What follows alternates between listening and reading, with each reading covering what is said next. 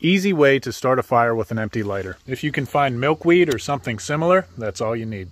And give it a spark.